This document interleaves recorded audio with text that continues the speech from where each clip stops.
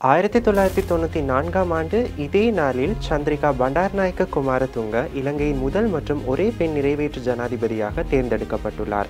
அவர் கொண்டு வந்த சில சீர்திருத்தங்கள் தான் இலங்கையை இன்றைய நிலைக்கு மாற்றியுள்ளது. அவரது இரண்டு பதவி காலத்தில் சிபிகே தலைமையிலான அரசாங்கத்தால் சீர்திருத்தங்களை கொண்டு வர முடிந்துள்ளது.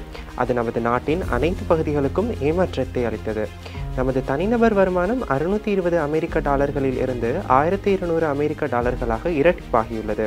திடமான முப்பத்தி ரெண்டு சதவீதத்திலிருந்து தனிநபர் வீடுகளுக்கான மின்சாரம் ஐம்பத்தி ஐந்து சதவீதமாகவும் பாதுகாப்பான குடிநீருக்கான வீட்டு அணுகல் எழுபது சதவீதமாகவும் உயர்ந்துள்ளது. அதே நேரத்தில் நாட்டில் நிகழ்ந்து கொண்டிருந்த உள்நாட்டு போரிலும் இவை அனைத்தும் நிகழ்ந்துள்ளன. சிபிகே அனைத்து வகையான குழந்தை துஷ்பிரயோகங்களுக்கு எதிராகவும் போர் தொடுத்துள்ளது. இது தேசிய குழந்தைகள் பாதுகாப்பு ஆணையம் நிறுவப்பட்டதுடன் முடிவுக்கு வந்துள்ளது. அந்த நேரத்தில் அரசாங்க பட்ஜெட்டின் அந்த இரண்டு துறைகளுக்கும் ஒதுக்கப்பட்ட நிதி மூன்று மடங்காக உயர்த்தப்பட்டதன் மூலம் அவர் கல்வி மற்றும் சுகாதாரத்திற்கு முன்னுரிமை அளித்துள்ளார். ஆயிரத்தி தொள்ளாயிரத்தி தொண்ணூற்றி நான்கு முதல் இரண்டாயிரத்தி ஐந்து வரை நடந்த சமாதான முன்னெடுப்புகள் இறுதியில் இரண்டாயிரத்தி ஒன்பதில் யுத்தம் முடிவடைந்த விதத்திற்கு அடித்தளமிட்டுள்ளது.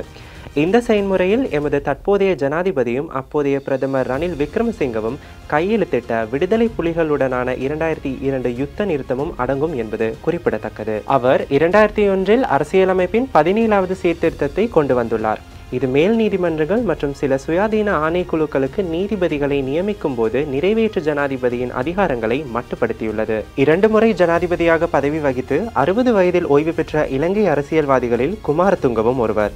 அதன் பிறகு அந்த பதவிக்கு வெற்றி பெற எங்களுக்கு இன்னும் ஒரு பெண் பிரதிநிதி இல்லை.